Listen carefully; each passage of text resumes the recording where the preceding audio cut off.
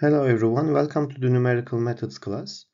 This class is about chapter 13 curve fitting and specifically we will be learning about the linear regression under the curve fitting. There are different curve fitting techniques, but this chapter is specifically about the linear regression. Let's first have an introduction for the curve fitting. First of all, data are often given for discrete values along a continuum. Basically, we will we can have a function, continuous function, but we don't know the functional relationship. We just have a data, maybe a few number of data values, and we want to have the general information of the function based on this data. So we may require estimates at points between the discrete data values. And that's why we may require a simplified version of a complicated function.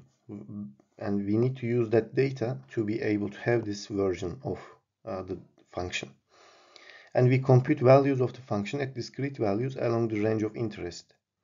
So curve fitting uh, is about to fitting a curve to discrete data to obtain intermediate estimates.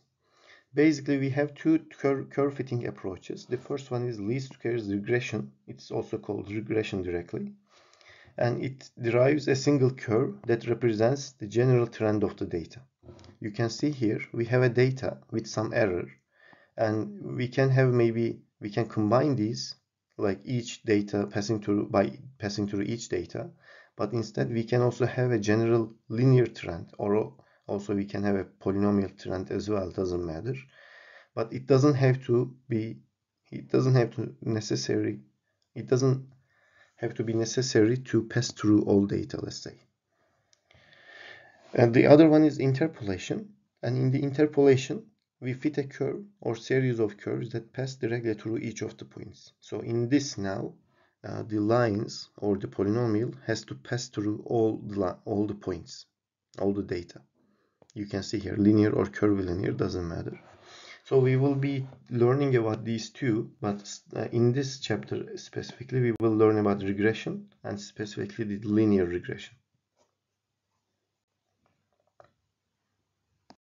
We use curve fitting in engineering in many applications because usually we have some experimental data or some numerical, after numerical calculations we can have some data.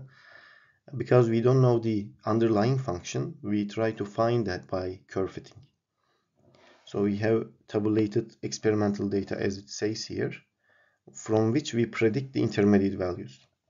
You can recall this or remember this uh, from the thermodynamics uh, if you remember there are tables of data and you are you are using some interpolation to be able to get some intermediate values. So two types of applications exist in the predicting of uh, some values based on the data in engineering. The first one is trend analysis and the second one is hypothesis testing. So in the trend analysis basically the pattern of data is used to make predictions. If the data are measured with high precision then use interpolating polynomials because in the interpolation the uh, curve is passing through each point has to pass through each point. That's why uh, that means we need to have high precision of the data. Then we can allow it to pass through each point. But if the data is uh, low in low precision imprecise or have some errors we know that then instead of trying to passing through each data we can have a general trend of it by using some least squares regression. So it can pass through in between some data points getting some average basically as a regression line. And forecasting outside data is also possible um, but extrapolation can be a little bit uh, erroneous based on the uh, used function. But still it can be used extrapolation to uh, predict some data beyond the limits beyond the uh, beyond the values of data let's say the second one is the hypothesis testing. In this, actually, this is an existing mathematical model um, and it is compared with measured data. So we, we know that there is some model that can represent a data, then we compare them. If the model coefficients are known, are unknown, this mathematical model, then we determine the values of the mathematical model, the coefficients, that best fit the observed data. So this is basically a kind of a curve fitting, but in this we know the mathematical model. In the trend analysis, we actually just fit some functional relation to a data rather than trying to make a comparison.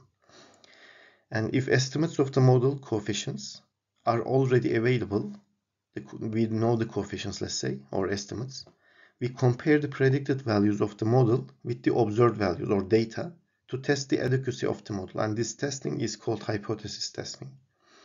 And uh, often alternative models are compared and the best one is selected based on the empirical data or observations. So um, this one is actually used usually with the statistical uh, distribution distribution techniques and usually we have for example a data normally distributed or log normally distributed but we don't know which distribution fits to data so we can try different distributions and find which one fits the best. You can do the same for maybe regression as well.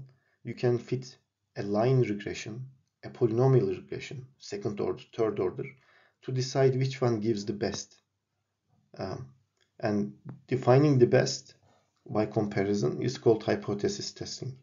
But if you are just fitting a data, uh, fitting a curve or a line to a data to get the uh, general pattern of it, then it's trend analysis. Usually in this class, we will be learning trend analysis part, but this is also valuable if specifically if you are working with statistical data. So we said that we are going to be working with regression in this class and let's introduce that here.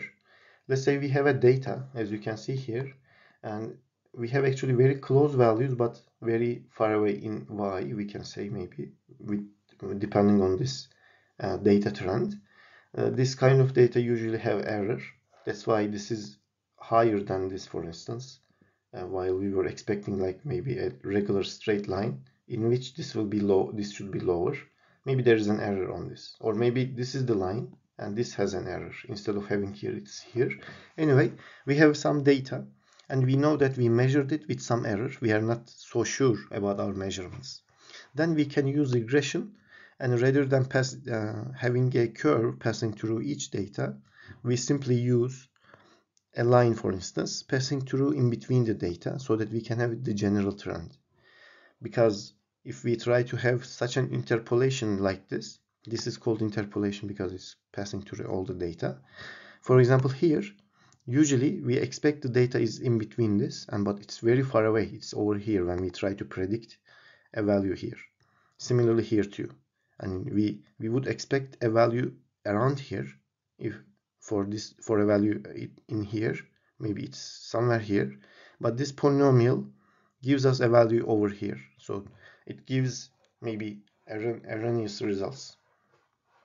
That's why it's inappropriate because it gives out of range results in between points the interpolations that pass through the all points. But in the regression it fits the general trend of data without passing through the points. That's why this is a good approximation because it gives in range prediction between points. For example here it gives an expected value which we expect a value around here so regression is useful and we generally use that uh, to fit a data in engineering because usually our experiments are not very precise. We have we can have some errors. So this is very useful and that's why let's uh, learn about how to fit a line to a data which is called regression.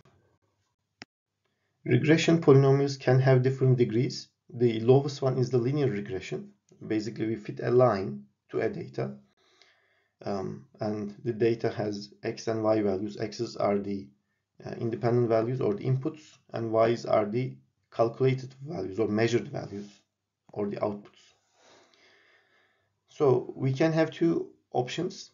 Manual fitting. So this is basically just visually inspecting data plotting that by hand maybe then uh, sketching a best line in between by hand or by drawing a line basically. So this is called an eyeball approach because we use our own eyes and manually try to you know draw a line. Uh, this can have common sense appeal and are valid for back of the envelope calculation. So we just want to have the trend visually, let's say. But they are deficient because they are arbitrary and subjective, subjective to the person's drawing uh, preference, let's say. And that's why the di different analysis would draw different lines. For instance, I can draw this, you can draw something like that in between. Many lines, there are many lines can be drawn in between, but they are very close to each other, but still there are still differences. So that's why the manual fitting is not good for having, trying to have one best fit for this data. That's why automated fitting is proposed and to remove the subjectivity issue, uh, some criteria must be devised to establish a basis for the fit and this automated fitting is proposed and one way to do this is to derive a curve that minimizes the discrepancy between the data points and the curve. So basically we uh, fit a curve, then calculate the differences. These are the differences between the curve value and let's say this value, this for example, the curve pre predicts this and this is the difference, maybe error. Here as well, there is an error here too. We try to minimize this. If you minimize the this difference or these errors, all of them, then we, you can have one unique line. And the, a technique for accomplishing this objective, minimizing the errors, is called least squares regression. And we will learn about this in the following slide.